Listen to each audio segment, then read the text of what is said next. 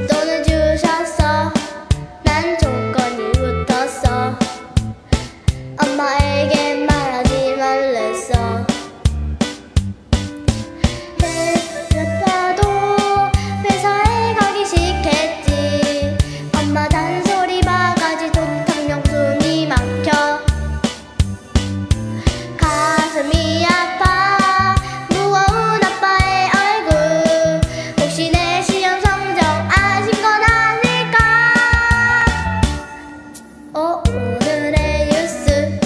대낮부터 노락시댄 이 시대에 아빠들이 많다던데. 혀끝쯧쯧쯧 내 자식 엄마와. 내 조치를 잘 푸는 우리 아빠.